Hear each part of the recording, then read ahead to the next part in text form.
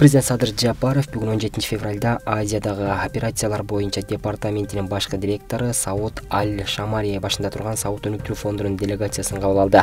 Бул тууралуу президенттин басма сөз кызматынан кабарлашты. Тараптар учурдагы жана пландаштырылган инвестициялык долбоорлорду ошондой эле жакынкы келечекте эр риядда өткөрүлө турган иш чараларды атап айтканда сауд аравия кыргыз бизнес форумун туристтик род шоу жана башка маданий иш чараларды талкуулашты. Мамлекет башчысы сауд өнүктүрүү фонду кыргыз сауд кызматташтыгын өнүктүрүүдө өзгөчө роль ойноорун белгиледи.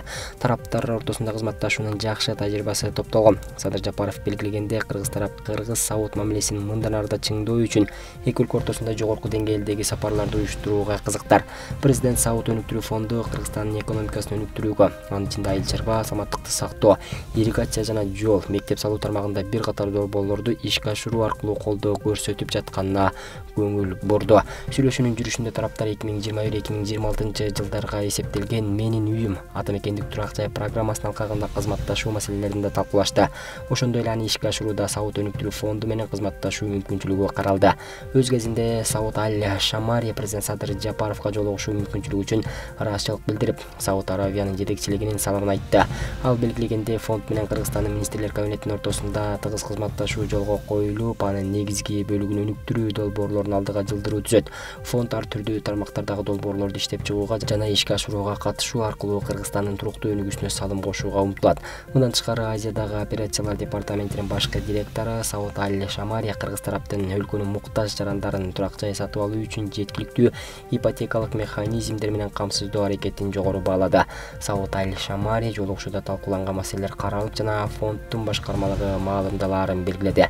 Тараптар эки тараптуу кызматташтыкты мындан ары да арттырууну жана келечекте биргелешкен долбоорлорду ишке ашырууну макулдашты кыргыз республикасынын министрлер кабинети казакстандын аймак аркылуу темир жол каттамынын транзитин кайрадан жандандыруу боюнча түшүндүрмө берди. Үстүбүздөгү жылдын он бешинчи он алтынчы февралында кыргыз республикасынын министрлер кабинетинин төрагасынын биринчи орун басары арзыбек кожоошевдин жана казакстандын премьер министринин орун басары соода жана интеграция министри бакыт султановдун тең төрагалыгы алдында кыргызстан менен казакстандын ортосундагы соода экономикалык кызматташуу боюнча жумушчу топтун биринчи жыйыны болуп өттү. Негизги макулдашуулардын бири катары эки миң жыйырма экинчи жылдын жыйырма биринчи февралынан тартып кыргызстандан россияга казакстандын аймагы аркылуу темир жол транспорту менен жүргүнчүлөрдү үзгүлтүксүз таашуу транзитин кайрадан жандандырууга казак тараптын макулдугу болду. Буга катар кыргыз республикасынын транспорт жана коммуникациялар министрлиги казак тарап менен жетишилген макулдашууларды эске алуу менен кыргыз республикасынын россия федерациясына казакстандын аймагы аркылуу темир жол транспорту менен жүргүнчүлөрдү таашууну кайрадан жандандыруу жөнүндө россия тараптын макулдугун алуу боюнча сүйлөшүүлөрдү улантат.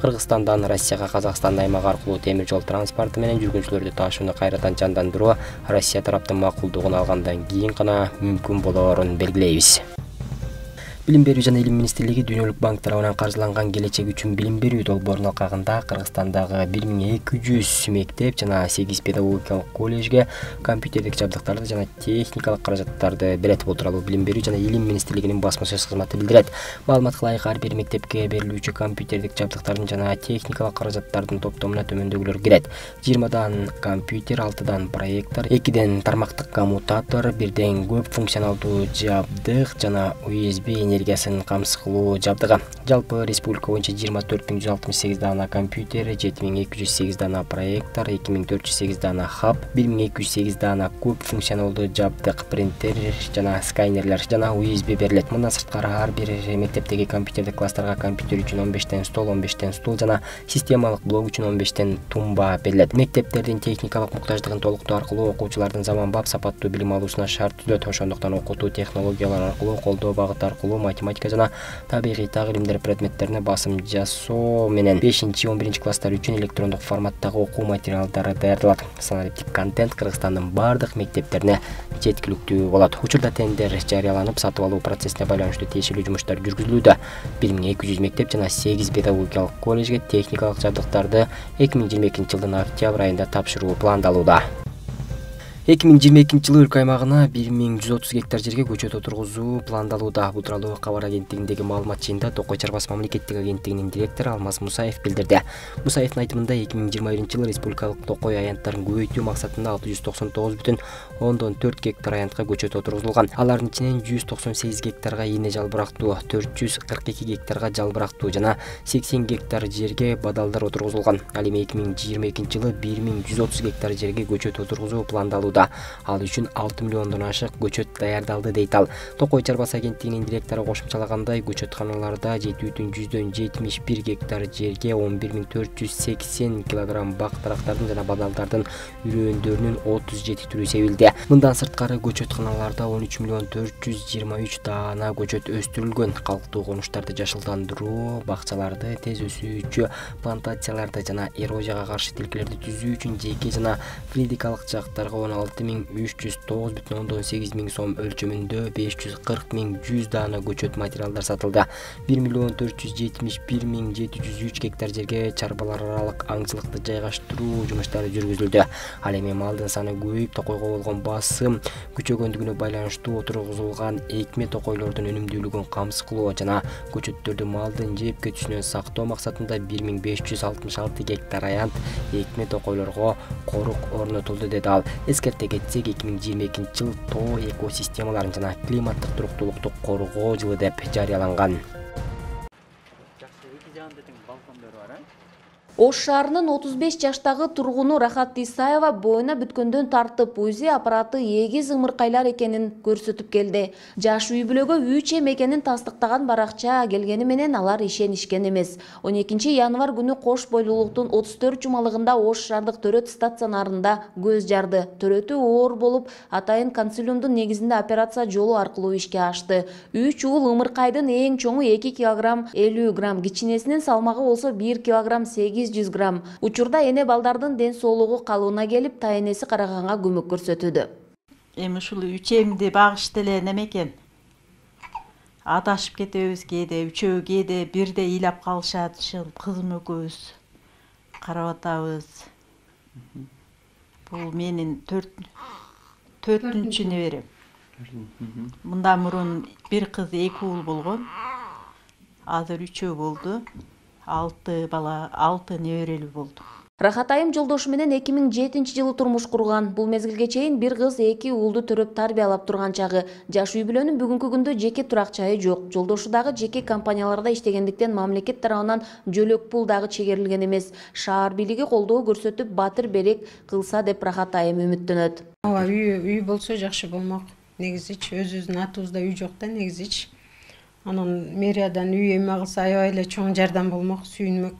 Шаар бийлиги эне балдардын абалы менен кабар алып отуз миң сом материалдык жардам көрсөткөн жаш үй бүлөнүн турмуштук шартын эске алуу менен бирге мамлекет тарабынан берилүүчү жөлөк пулдарды толук чегерүү милдети тийиштүү кызматтарга тапшырылган. Турак жай берүү үчүн атайын шаардык кеңешке сунуш берилип документ чогултуу жакынкы күндөрдөн башталды деп кабарлашты кийин ошол үй боюнча дагы биз аябай э, кандай документтерди чогултуп даярдап э, ушул бизге э, ушул документтерин тапшырып коюуну айттык. Аны дагы карап көрөбүз. Э, себеби дегенде бизде дагы азыр үйлөр салынып атат. Муниципалдык үйлөр салынып атат. Ошолор жактан дагы караштырып бергенге аракет кылабыз өлкөбүздөгү элдин демографиялык өсүшү соңку жылдары жакшырып келе жатканын айтсак болот. Айтсак ош шаарында эки миң жыйырманчы жылы бир жүз сексен төрт эгиз төрөлсө анын ичинен үч эм жарык дүйнөгө келген. Узаган жылы бир жүз сексен алты эгиз наристенин эки учуру үч эм болду. Кыргызстанда жети баладан соң баатыр эне статусу берилет. Өткөн жылдын октябрь айынан тарта жөлөк пул эки эсеге көбөйгөн. Гүлжан ажыматова бектур калыбек уулу ош шаары Біздің жаныңызда азыр Ми-8 МТВ аскердік тек ұшағы қонуыда Аға Қырғыз Республикасының құралды күштерінің атайын бағыттағы аскерлері ауадан секіру үшін атайын машығуының алқағында отырышмақшы. Э, Қошымшаласақ, аскердік машығу аскерлердің кесіпкөйлігін жана күзірмөндігін э, арттыру мақсатында өткөрүлүүдө сегизинчи февралда башталган аскердик машыгуулардын акыркы этабы десанттык даярдыктар болчу. Ал эки күнгө пландалып ага эки жүзгө жакын атайын багыттагы аскер кызматкерлери даярдык көрүшкөн.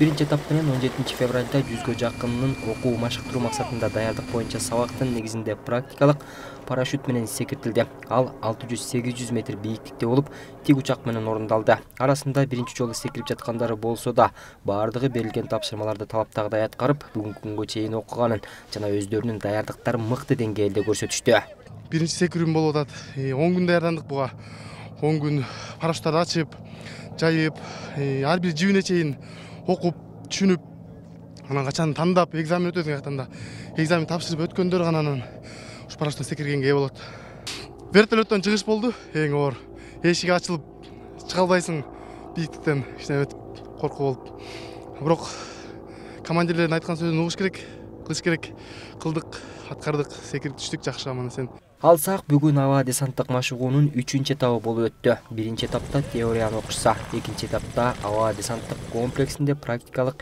иш аракеттерди жасашкан эми минтип негизгиделген секирүүнү баардыгы ийгиликтүү аякташты мындай машыгуулар мындан ары да баштагыга салыштырмалуу байма бай өткөрүлүп турмакчы анткени өлкө башчысы да аскердик машыгууларга өзгөчө көңүл буруп жатканы айтылды.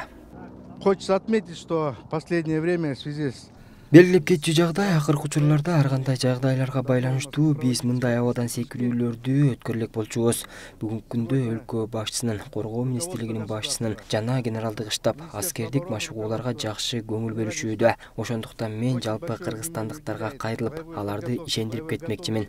Коргоо министрлигинин жеке курамы. Бүгүнкү күндө баардык тапшырмаларды аткарууга даяр. Максатыбыз өлкөнүн коопсуздугун жана стабилдүүлүгүн сактоо. Готов выполнить любую боевую задачу. Иш чаралардын планына ылайык өткөрүлгөн аскердик машыгуулардын ар биринин өздөрүнө тиешелүү татаалдыктары бар. Мисалы абадан секирүүдө көбүнчө алгачкы ирет бул машыгууга катышып жаткандар күндөп атайын окутуулардан өтсө да өздөрүн ыңгайсыз сезишет анткени сегиз жүз алты жүз метр бийиктиктен жерге түшүү төрт беш мүнөттага чейин созулат.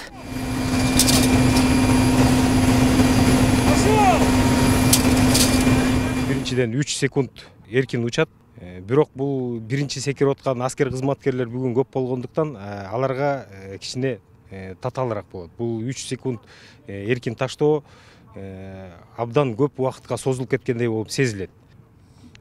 Ошол эркин таштоо негизи ушул практикалык секиртүүнүн эң негизгиси болуп эсептелет да.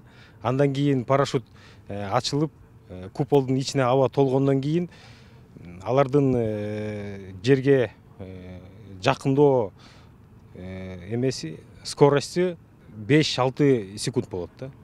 А учурунда отуз беш кырк э, метров в секунду учушат кошумчаласак окуу машыгуу секирүүлөргө чейин өздүк курам аба десанттык даярдык боюнча жыйындардан өтүп анын жүрүшүндө парашюттун материалдык бөлүгүн жалпы конструкциясын жана коопсуздук чараларын өздөштүрүү боюнча окуу милдеттери иштелип чыккан теориялык жана практикалык зачетторду тапшыргандан кийин аскер кызматчылары жыйындардын аяктоочу этабына парашют менен секирүүгө уруксаат алышкан. Бакытбек болсунов бакыт жапаров азия тв бишкек